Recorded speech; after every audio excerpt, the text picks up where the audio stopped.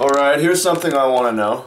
And this is a question for uh, everyone, but I mean, I'd love to get input from B-Ball Breakdown and or Pro Shot shooting systems. Um, and that is about uh, NBA players and shooting from the seams. Uh, what I mean by that is shooting, you know, getting your hand position in a certain way that you're getting backspin rotation on the ball, right? Now, um, I've heard some NBA players talk about they try to shoot from the seams. I know Ray Allen says, you know, I love to shoot at the seams if I can get to them. However, in a game, I don't necessarily have the time to catch and line the seams up and shoot from the seams. So basically, I'm curious uh, what, and, and this is hard to know because it's hard to see from the quality of film we get. You know, from an orange ball, we can't necessarily see the laces unless we're looking at HD Phantom.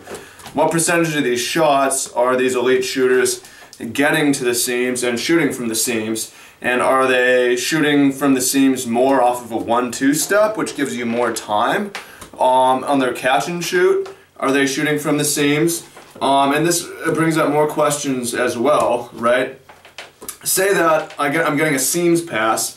Am I catching it, you know, are, are these guys catching it on the sides and going up? Are they catching it like this, you know, on top? This isn't as a less ideal way to catch it, right? It's just harder. But this way, maybe they catch and go straight from the seams. I'm just curious what these guys are doing. And furthermore, um, if these shooters, and th this is what I've heard from point guards, I've heard Rajon Rondo and Chris Paul, I hear that they know their shooters like the seams, so they try to get the ball to their shooters on the seams, which means what NBA guards, point guards are the best NBA point guards all passing on the seams? I think so, but I'm not sure. I haven't really seen footage. I've just heard, you know, interviews with uh, Paul and Rondo and Ray Allen that, you know, this is something that they like, right?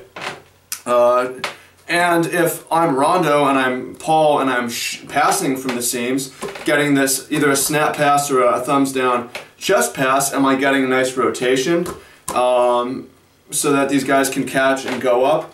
And if so, uh, does that mean that I'm dribbling the whole time I'm dribbling? I'm aware um, of where the seams are. I'm controlling the seams while I dribble. Is this something that guys are doing? Yeah, I, I think it might be. I think it might be. Um, and I'm curious. Obviously, I don't necessarily have the tools to find out. I believe that it is. Um, it's hard to know from footage.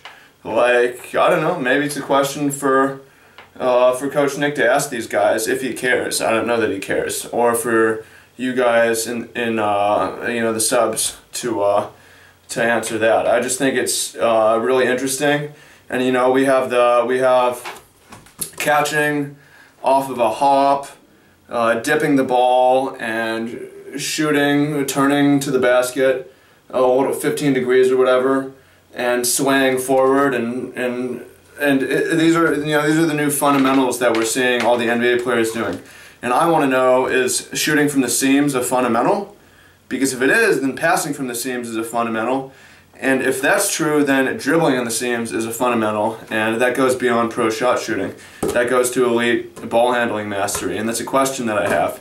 Um, I mean, I'd love to get a response from pro shot shooting or b-ball breakdown. If not, that's totally fine too.